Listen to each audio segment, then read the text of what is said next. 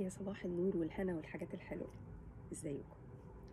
النهاردة دي تاني حلقة أو تاني جزء بنعمله عن الصيغة في مصر. والصيغة في مصر الحقيقة ليها أصل زي ما قلنا امبارح وأصلها أقدم التاريخ أقدم من الاستدلال على حتى وجود الحضارة المصرية القديمة وجزء منها كان عن طريق الصيغة اللي لقوها سواء في التوابيت أو مع المومياوات وغيره النهارده هكلم حضراتكم عن ثلاث انواع من الصيغة في مصر. وكل نوع منهم ليه علاقة بارتباطه المكاني والتضاريسي والعشائري وكده. النهارده هنتكلم عن الصيغة النوبي وهنتكلم عن الصيغة الصحراوي وهنتكلم عن صيغة الفلاحين والصيغة الشعبية. الصيغة النوبي هي الصيغة اللي موجودة في النوبة في بلاد النوبة من قديم الأزل وحتى النهارده. فكل الجزء اللي بيقولوا عليه الخواجات upper ايجيبت من وانت نازل من بعد الصعيد لحد اسوان والأقصر والنوبة. وهو أنا مخصصاه لأنه سلسلة الثقافة الشعبية عاملة دراسة مش معقول جمالها عن الصيغة في النوبة وفي الصحراء وفي الفلاحين. الصيغة في الصحراء موجودة عند الصحراويين في الواحات والامازيغ وغيرها. معظمها في الصحراء الغربية في مصر. وصيغة الفلاحين أو الصيغة الشعبية الصيغة الشعبية صيغة ليها طريقة في التصنيع هقول لكم عليها دلوقتي. وصيغة الفلاحين داخل فيها وجه بحري ووجه قبلي الفلاحين والصعايدة يعني الدلتا والصعيد. وبيتقال عليها كلها صيغة الفلاحين لأنها شبه بعض شوية لكن في الصعيد ليها مميزات في مصنعية الذهب. أقول لكم بقى. اولا الدراسة اللي أنا يعني فعلا أحب انه حضراتكم تبصوا عليها بصة عاملها الأستاذ أشرف عويس في مصر في سلسلة الثقافة الشعبية اللي أنا بحبها أنتوا عارفين قد إيه.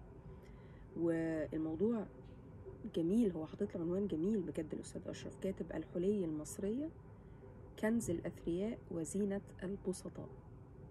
وإحنا عارفين إنه وده هنجيله في في الحكاية يعني في الجزء اللي ليه علاقة بصيغه في الفلاحين إنه كتير جدا من السيدات في مصر بيعتبروا إنه شراء الذهب يقول لك حتتين ذهب للزمن. دايما دي الكلمة اللي بتتقال. آه اشتريت لي حتتين ذهب للزمن. إنه بيعتبروا إن ده تأمين. وهقول لكم ليه برضه. طيب. آم جميل قوي. الأستاذ أشرف مصدر دراسته أو الورقة البحثية اللي هو عاملها كاتب إيه؟ الحلي خاصة الذهب دفتر الأحوال الذي يعبر بوضوح عن غنى وفقر الناس في مصر. حلو قوي. طيب بالنسبة للنوبة بقى. آه الجميل إنه آه آه الدايرة الذهبية اللي إحنا بنشوفها في الكردان اللي بدأت في النوبة من زمان خالص واللي موجودة حتى على جدران الحضارة المصرية القديمة. كردان أنتوا عارفين في منه أشكال هلالية وفي منه مربع زي ده كده وده مش كتير موجود وعلى فكرة هو قديم قوي ومش مرمم بس أنا تعمدت ألبسه زي ما هو كده لأن أنا بحبه قوي الكردان ده و في دواير اللي مشهور قوي في النوبة هو الدايرة. خلاص؟ فالدايرة دي هم بيسموها دايرة ذهبية كبيرة كده وبتحيط بيها مجموعة من الفصوص الملونة. ده كردان أنا بحب شكله جدا في النوبة. ده اسمه القمر بوبة. في النوبة اسمه القمر بوبة. وبعدين يا سيدي النوبة النوبة النوبة. جميلة. قمر والبداية كانت لما ابتدت مناجم الذهب تبقى مكتشفة في النوبة. ده زمان خالص خالص خالص. فلما مناجم الذهب اكتشفت في النوبة بقت النوبة أصل الذهب في مصر. منبعه. قبل ما صناعة الذهب ترتقي قوي قوي كل ده بنتكلم عن الحضارة المصرية القديمة. وبعدين آه. الحلق في النوبة الجزء العلوي فيه مزدان بدايرة أو بدايرتين. ده من أيام الحضارة المصرية القديمة والحلق نفسه شكله دائري كمان. وهو نفس الأسلوب الذي يمكن مشاهدته في رسوم تل العمارنة الجدارية اللي هي بترجع لعصر إخناتون. لما بدأت صور بنات إخناتون تظهر وهم لابسين الأقراط الكبيرة المدورة المزدانة كمان بدايرتين داخلين فيها ومش عارفة إيه. فتقاطع الدواير ده بدأ يستدل عليه من الرسوم في تل العمارنة لبنات إخناتون. كمان أثر في آه، الحلي أو الصيغة في النوبة آه، ثقافتين الثقافة المسيحية والثقافة الإسلامية. يعني طور شكل ال- الصيغة في النوبة آه، لما دخلوا مصر الديانتين المسيحية بكل ثقافتها والإسلامية بكل ثقافتها. فمثلا التأثير المسيحي زي ما بيقول الأستاذ أشرف هتلاقيها موجودة عند النوبيين الفجتة أبرزها آه، أنا بحبها قوي. بس أنا مش عارفة هي بتتنطق قصة الرحمن لأنها بتتحط هنا ولا قصة الرحمن؟ أنا فعلا مش عارفة. لكن أنا بحبها. هي مجموعة مثلثات كده بترتديها المرأة هنا مثلثات داخلة في بعض كده صغيرة آه، بتلبسها بس الست المتزوجة. اولا عشان تميز إنها متزوجة وده جزء من مساغها اللي هو آه، زي الشبكة. وداخله في بعض كده صغيرة. فدي جميلة قوي. دي اسمها قصة الرحمن أو قصة الرحمن أنا مش عارفة. هي شبه جدا هي عاملة مثلث ومثلث ومثلث ومثلث ومثلثات كده. شبه قوي الصليب لأنه ده تأثير من الحضارة المسيحية أو الثقافه ال- آم، يعني بيتقال عليه إيه؟ الأثر المسيحي على الصيغة في النوبة فده المسيحية ممكن يستدل عليها بالشكل ده وده كانوا بيلبسوه بالمناسبة الستات في أوروبا في العصور الوسطى. كويس؟ كمان في سوار الرزان هي مجموعة من وحدات الخرز تشبه في تكوينها السوار البيزنطي.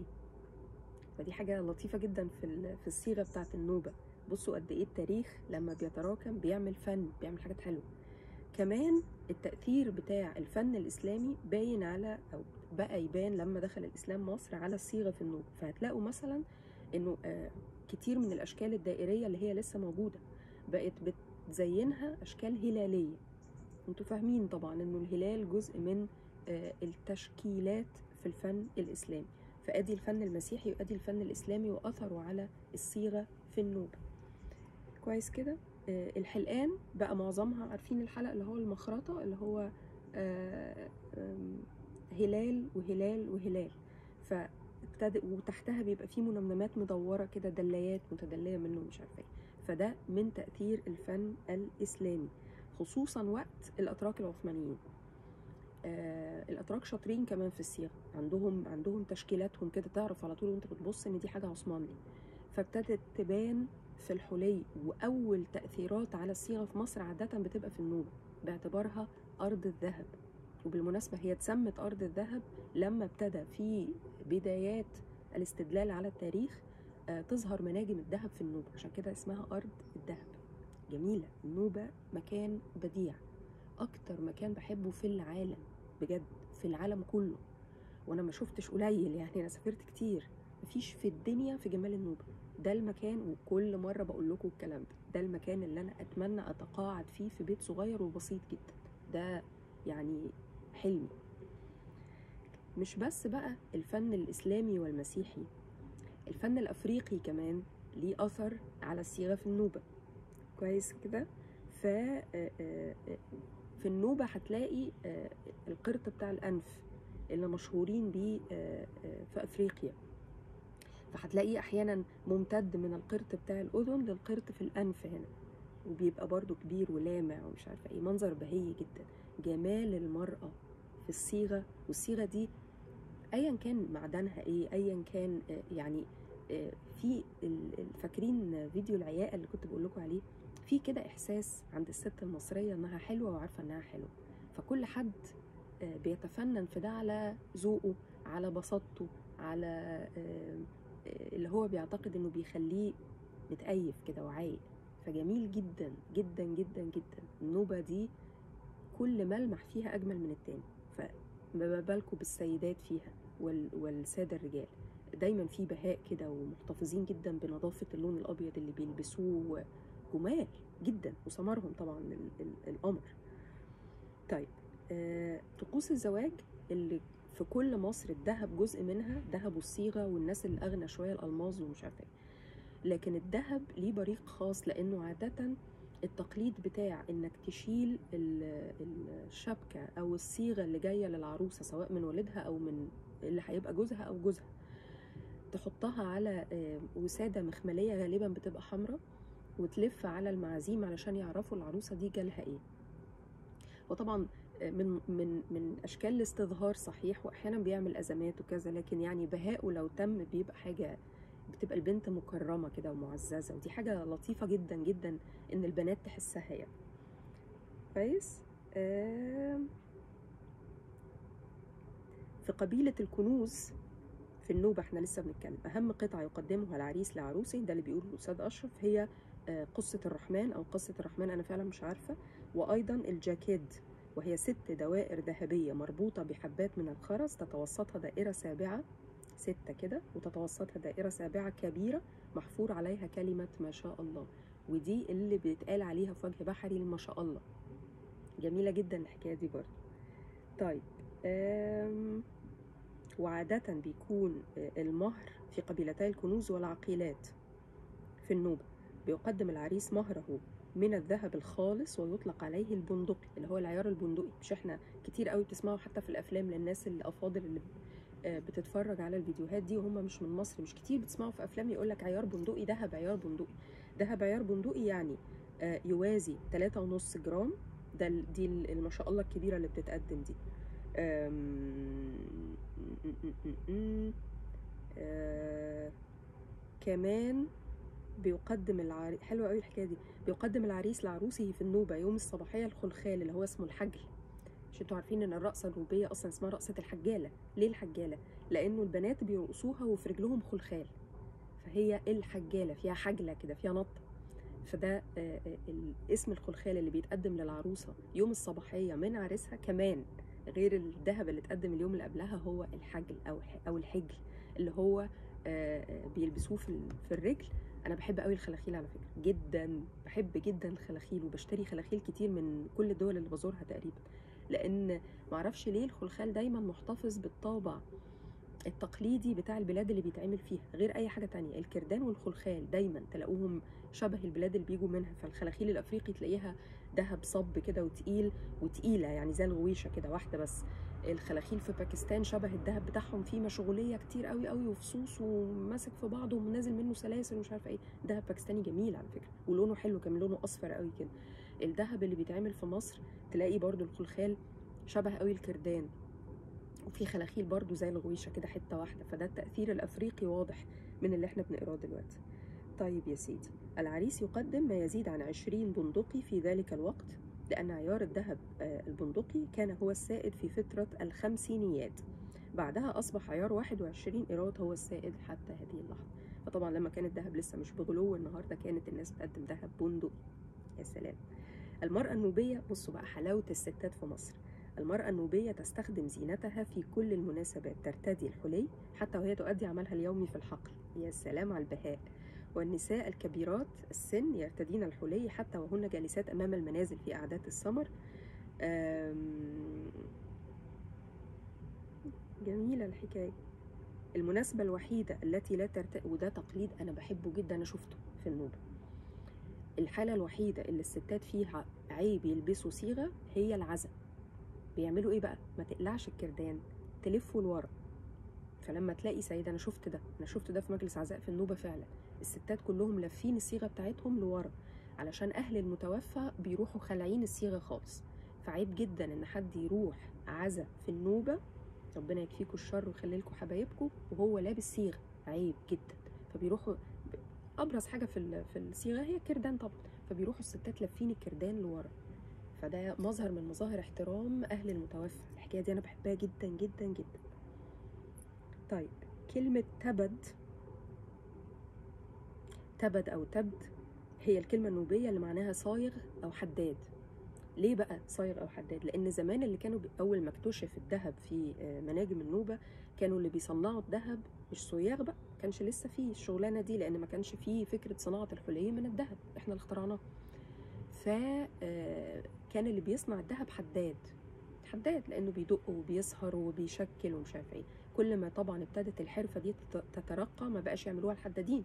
ابتدى يبقى في ناس مخصوص بتعمل الصيغة فابتدت شغلانة السايغ فالتبد أو التبد هو الحداد في الأصل اللي بعد شوية بقى السايغ كويس؟ أم... okay. طريقة التصنيع هي الصهر العادية في النوبة زي كل حتة تانية.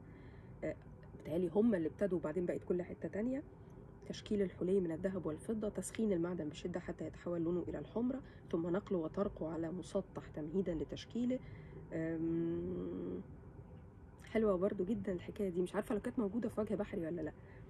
بعض الصا- الصاغة النوبيين في مطلع القرن العشرين كان يحمل أحدهم أدواته في حقيبة ويتجول بها هنا وهناك يطرق الباب على السيدة التي أعطته سابقا حليها بغرض التصليح. في أحيان أخرى كان يجلس أمام الباب ويفترش أدواته ويبدأ في تصليح قطع الحلي أمام المنازل وفي حالة عدم قبول القطع للإصلاح يصهرها ويعيد تشكيلها من جديد. نفس فكرة شغل الصياغة عموما لكن آه، كان ده سائغ متجول.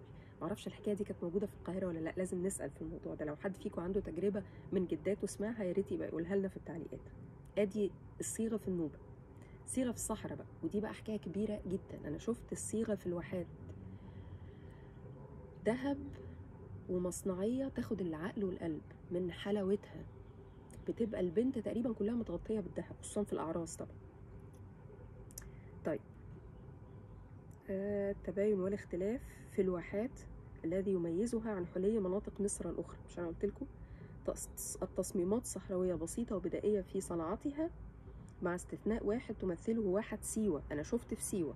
ربما يعود السبب في ذلك إلى قلة الموارد الطبيعية كمصدر يتأثر به الصناع أو لعدم اهتمام منذ القدم بالحلي. طيب أنا شفت حاجة تانية لكن أنا شفتها في في سيوة زي ما بيقول الأستاذ أشرف. فإحنا متفقين على كل يعني. آم، كور الفضية الأحجار الكريمة وشبه الكريمة الخرز الزجاجي الملون واختلاف التصميمات ومش عارفة إيه.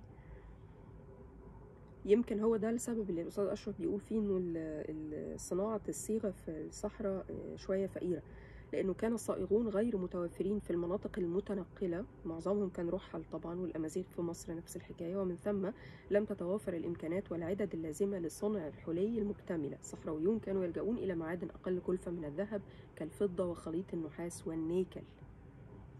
يخلط النيكل بالنحاس فيعطيه مظهر الفضة اللامع حلوة الحكاية دي. ويكون طيع الصنع ومش عارفة إيه. فآدي الحلي في الواحات في الصحراء. اللي أنا شفته في سيوة كان ذهب مكتمل ال- المعاني يعني مصنعية عظمة وذهب كتير جدا العروسة بتلبسه وحاجات ماسكة في بعض كده وحاجات نازلة على الراس ومش عارفة إيه وحاجات تقريبا بتغطي الفستان كله جميل. المشهد ده موجود في مشهد العرس في آه، في واحة الغروب اللي كان عاملها الأستاذ خالد النبوي ومنى شلبي. حلوة خالص. في مشهد العرس ده بكل زينته فلو حبيتوا أكيد هتلاقوه في حتة اتفرجوا عليه. جميل خالص. طيب الحلية الشعبية بقى و- و- وذهب الفلاحين اللي إحنا معتادين عليه واللي بيتباع في القاهرة. آه، الفلاحين زي ما قلت لكم اللي بيشير ليهم الاستاذ أشرف هم الفلاحين في وجه بحري وقبلي اللي هم بيعيشوا على ضفتي النهر من الشمال وحتى بداية ما ما يصطلح عليه بالنوبة الأقصر وأسوان والنوبة. كويس كده؟ كان معظم الوقت بيتعمل من 21 قيراط والبندقي برضو. وبعدين بالنسبة للفضة اللي هي أنا بعشقها أنا بحب الفضة أكتر من الذهب على فكرة وعندي فضة أكتر بكتير من الذهب أنا مش غاوية ذهب أنا تقريبا ما عنديش غير الذهب حاجات من هنا ومن هنا أمي مثلا دياني حاجات مش عارفة إيه لكن الله يرحمه لكن أنا بحب الفضة ولما بسا- بسافر دول بشتري فضة دايما. ف آه، كان آه، الذهب الشعبي اللي بحكي لحضراتكم عليه اللي كان بيتقال عليه في مصر ولا زال ذهب قشرة. يعني إيه ذهب قشرة؟ يعني اللي هو بيقولوا عليه في الخواجات هنا gold plated يعني المعدن اللي جوه مش ذهب لكنه مطلي بمية الذهب فيبقى ليه لمعة الذهب شبهها شوية طبعا فرق لكن كان بيتقال عليه ذهب قشرة. وكان في شركتين في مصر رصيدهم الأستاذ أشرف هم اللي بيعملوا الذهب القشرة ده كان شركة الجمل وشركة السمكة. وكلاهما أنشئ عام 1912 1912 على يد يهود مصريين وكلا الشركتين كان لهما على الأقل 60 فرع تغطي أنحاء مصر. فالذهب القشرة ده كان بيتعمل منه كل المشغولات اللي أحيانا كان بيبقى من الصعب جدا لو الحرفة حلوة من الصعب جدا تفرق بينه وبين الذهب الحقيقي. وكان في حالات غش بتحصل لما الناس تتداول هذا الذهب باعتباره ذهب فبيبقى غالي طبعا أغلى بكتير وهو ذهب قشرة أصلا. دي بيعرفها بس السياغ بالمناسبة. السياغ دول أمارات شاطرين جدا في حرفتهم. يبصوا للحاجة يعرفوا ده ألماظ حقيقي ولا لأ. آه عمل الدور ده جميل قوي الاستاذ نور الشريف حبيبي الله يرحمه. رائع. ف اسمه إيه الفيلم؟ جري الوحوش. لما كان طالع الأستاذ محمود عبد العزيز منجد والأستاذ نور الشريف جواهرجي. فكان يبص للحاجة يعرف إذا كان ال ال ال ده ألماس حقيقي ولا لأ. ودي الصياغ بس هم اللي بيعرفوها فعلا.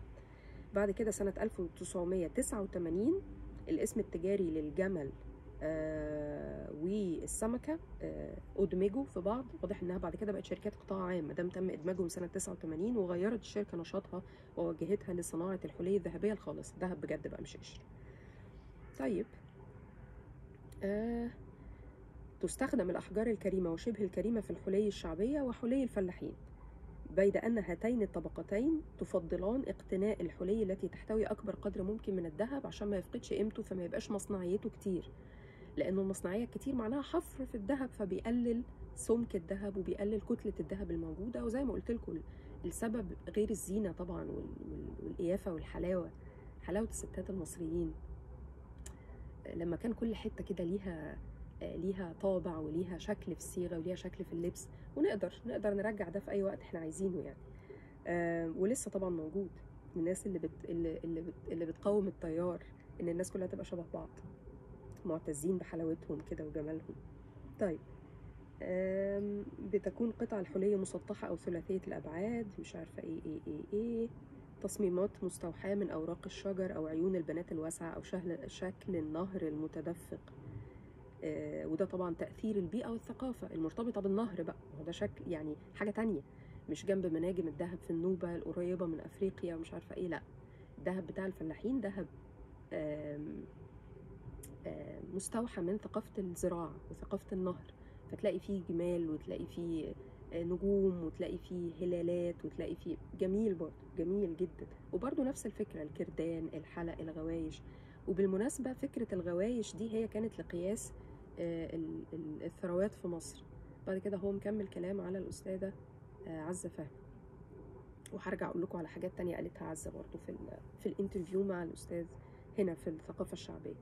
فكانت المرأة بترتدي الغوايش تلاقيها لابسة ست من ست لثمان غوايش بتبدأ من أربعة مهم رقم زوجي معرفش ليه الحكاية دي. وتلاقي الستات المقتدرات أكتر لابسين غوايش التعبان. آه لكن رنة الغويشة في إيد الست حتى تلاقي بائعات في السوق اللي هم أفضل ناس وأشرف ناس على راسنا من فوق لأنهم بيصرفوا على بيوت كاملة وبيصرفوا على أزواجهم أحيانا يعني شايلين مش بس على دماغهم. الخضار والفاكهة والطيور ومش عارفة إيه اللي بيبيعوا واللبن والجبن وكده اللي بيبيعوها دول هم نفسهم على دماغنا. شايلين مصر كلها على دماغهم حقيقي. آه الست الفلاحة والصعيدية والبائعة و الناس اللي بجد بتسعى ورا لقمة العيش تتعب بتمشي مسافات طويلة من بلاد ومش عارفة إيه بتلاقيها لابسة غوايش في إيديها وحلق وبتاع. طبعا على اختلاف المقدرة في من أول الخرز فيديوهات كتير وحاجات كتير من اللي أنا بحطها بتلاقي الست متزينة لكن زينة بسيطة يعني ماديا بسيطة لكن الزينة لازم العياء القياف فده اللي بتقوله عزة فهمي في الانترفيو مع الأستاذ أشرف. لأن يعني هي طبعا من من عشاق تصنيع الصيغة في مصر وتقريبا بقت أشهر واحدة بتعمل صيغة بالاسم يعني.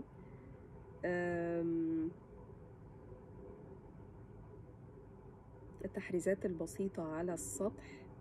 اللي بيعملوها سياغ القاهرة بتبقى أقل هي بتقول بتبقى أقل مصنعية علشان ما تفقدش الذهب قيمته الخالصة اللي هي المفروض الستات بيشتروه علشان الزمن. طيب فإذا ده جزء من اللي كاتباه الثقافة الشعبية الأستاذ أشرف عويس في دراسة لطيفة جدا عن الصيغة في مصر. فده الجزء الثاني. هدور لكم لو لقينا جزء ثالث نفرغه لحاجة بعينها ليها علاقة بصناعة الفضة مثلا في مصر هعملها بكرة ما كانش يبقى بكرة أشوفكم في حكاية جديدة. أنا بحب الصيغة مش عشان التبرج وال وال وال اتقال عليها إيه؟ الاستظهار. عشان الصيغة جزء من الثقافة. إحنا بنبقى شايلين كل ما نقدر نشيل الثقافة ونمشي بيها في الدنيا نقول إحنا مصريين لازم نعمل كده. أنا شخصيا بعمل كده. يعني ما البسش فساتيني الحلوة اللي معمولة من التلي غير لما أكون في مناسبات كبيرة. ما البسش الصيغه المصري غير لما أكون عايزة أقول إن أنا مصرية. وأنا بحب في كل حتة في الدنيا أروح أقول إنه أنا مصرية. صباح الورد والهنا والأصالة والجمال على عيونكم. سلام.